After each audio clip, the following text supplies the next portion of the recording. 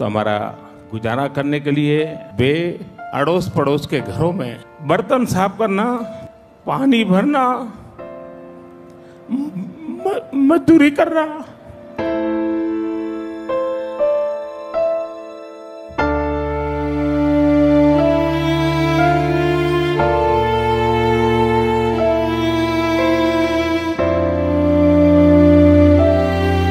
जब हम छोटे थे तो हमारा गुजारा करने के लिए वे अड़ोस पड़ोस के घरों में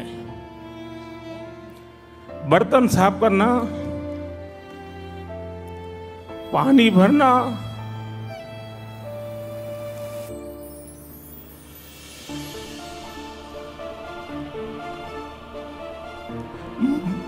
मजदूरी करना।